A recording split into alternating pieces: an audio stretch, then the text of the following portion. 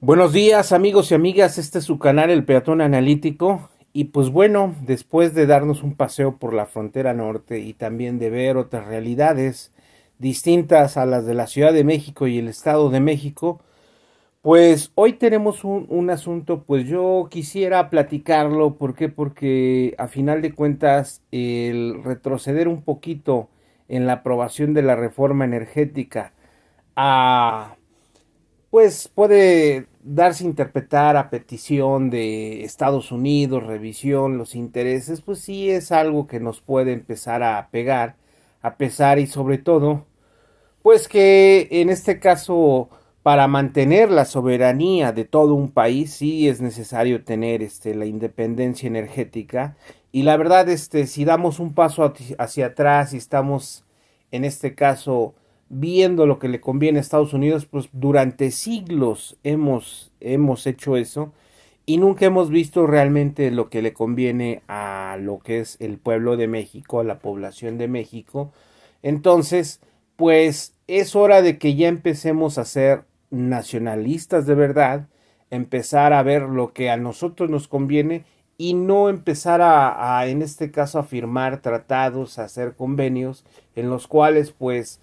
eh, sabemos que vamos a salir derrotados como el Tratado de Libre Comercio que firmó Carlos Salinas de Gortari en 1994, en donde pues eh, nos fuimos a competir comercialmente con Canadá y Estados Unidos, a sabiendas que las empresas del Estado habían sido privatizadas y a los amigos de, de los expresidentes y el sistema geopolítico, y posteriormente lo que sucedió es que nunca eh, en realidad este, compitieron con las empresas eh, norteamericanas y canadienses, sino únicamente las vendieron, evadieron impuestos y nacieron los 200 ricos más grandes en México y también a nivel mundial. Entonces nacieron emporios pues de muchas cosas. Entonces pues si no conocemos nuestro pasado, eh, tendemos a repetir los mismos errores. Entonces, si nosotros no estamos conscientes de esta acción y en este caso empezamos a bajar la guardia, pues, pues realmente eh, acuérdense que los imperialistas, el neoliberalismo, en las 20 em, eh, familias más ricas de todo el planeta, eh, pues ellos lo que buscan al hacer las guerras, al en este caso invertir en otros países, es llevarse las ganancias netas. En este caso el desarrollo, pues sí, o sea, a final de cuentas necesitan invertir en el país donde están, pero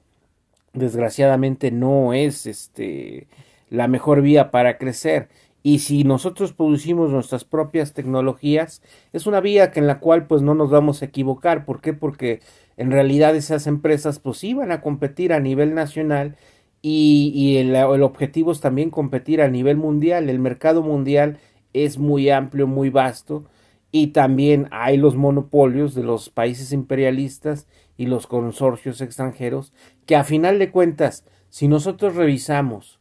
y eso quiero que les quede muy claro eh, quiénes son los dueños y los accionistas de las empresas transnacionales más poderosas en el ramo que ustedes me digan los gobiernos de los estados tienen acciones y respaldan a esas empresas Nada más que aquí pues nos medieron el, mito de las empresas productivas del Estado, eh, las subsidiarias y demás, que pues son malas, ¿no? Que todo lo administrado por el Estado está mal hecho. Y realmente lo que tenemos que empezar a combatir es la corrupción, nepotismo, tráfico de, de influencias y sobre todo que pues ya va, ya tenemos que ponerle un basta a a, preferir los productos extranjeros a los nacionales y en este caso empezar a producir nuestros propios insumos. Entonces, amigos y amigas, estamos ante una encrucijada, ante una situación pues muy muy difícil, muy muy este trascendente en nuestra vida, que si no la sabemos manejar, pues vamos a fracasar y vamos a de nuevo, ¿cómo se llama? Cederle eh, el poder a las empresas extranjeras y en este caso a la clase oligarca, que en este caso que están en, espera y en acecho como desde que México es independiente han vivido del erario público y de los impuestos. Entonces, pues ese cuento que teníamos de que teníamos un amigo que su abuelito tenía un rancho increíble no sé dónde y que tenía era muy exitoso sus papás porque tenían empresas y demás, pues a base del erario público. Entonces, amigos y amigas, tenemos que empezar a, transformar esto, tenemos que cambiar nuestra mentalidad y tenemos que, en este caso, empezar a investigar más sobre lo que vemos, lo que está haciendo el, gobierno, las noticias, no de los medios de comunicación pagados, de los intelectuales orgánicos y, y en este caso la gente que quiere recuperar el poder, sino los medios de comunicación independientes. Muchos de repente dicen, no, pues es que son noticias amarillistas, es mucha información, sí, pero a final de cuentas, eh, en este caso, quien tiene la información tiene el poder. Quiero que se les quede grabado eso muy fuerte. Y en este caso, en, en, todo, en todo, en toda actividad hay altibajos, hay altibajos, hay cosas buenas, rachas malas y rachas excelentes. Y acuérdense, el poder no dura tampoco para siempre. Entonces, pues hay que estar preparado realmente para todo, todo tipo de situaciones, hay que ser todo terreno y sobre todo este poner bien los pies en la tierra y pues más vale tener un crecimiento estable que un crecimiento acelerado que después pues simplemente se apague y sobre todo hay que encomendarnos siempre cada vez que nos despertamos a Dios y también cuando nosotros este pues también este eh, nos, nos vamos a descansar y pues hay que, si estamos bien con Dios vamos a estar bien con todo